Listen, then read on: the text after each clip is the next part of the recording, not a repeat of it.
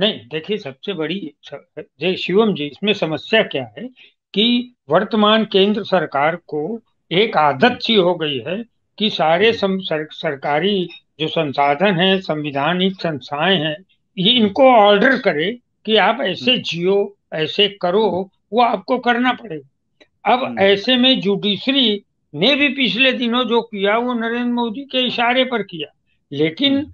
अब ये जो चंद्रचूड़ के पुत्र आए हैं उनके पास जो है एक एक तो सबसे बड़ी चीज़ है इस देश इस देश का भरोसा चंद्रचूड़ है।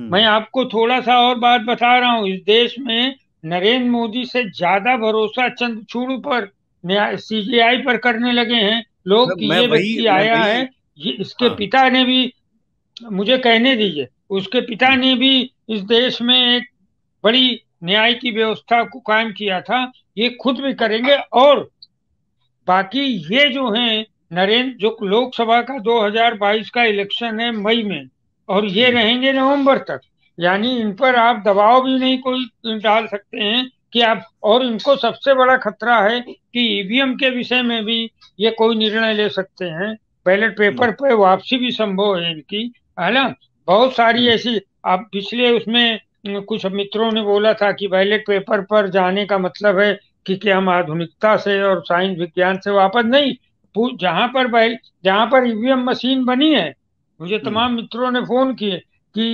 ईवीएम हम्म। मशीन बनी जापान में वो तो बैलेट पेपर का उपयोग कर तमाम लोगों ने ईवीएम मशीन का इस्तेमाल करना बंद कर दिया मोदी जी हाँ। का डर क्या है कि ये ईवीएम मशीन पे बहन ना करके उस पर क्योंकि बार बार याचिका लगती है कि आप जो हम्म। है ये कराइए आप बैलेट पेपर पर इलेक्शन कराइए अब हम्म।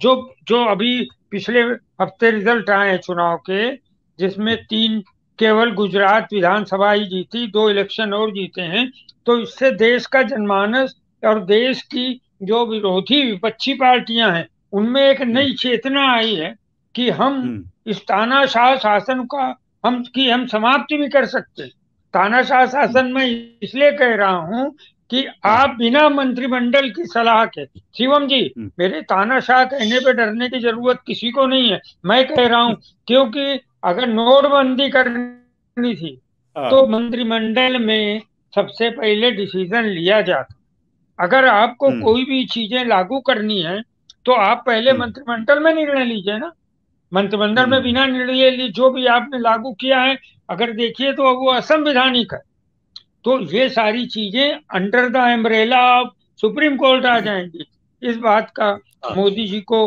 और बहुत सारी चीज़ें हैं जो छुपाई जा रही हैं आज तक देश में जिन पर बातें नहीं हो रही हैं हाँ। तो इसलिए मैं दोनों सिस्टम पर जाना नहीं चाहता मैं केवल एक प्रश्न खड़ा करना चाहता हूँ कि, कि क्या हाँ।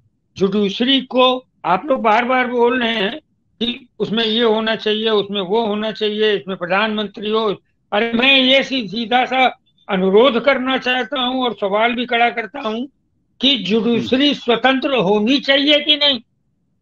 आप होनी ही चाहिए। और आप हमसे जुड़े रहने के लिए सब्सक्राइब करें यूट्यूब पर फॉलो करें ट्विटर पर और लाइक करें फेसबुक पर।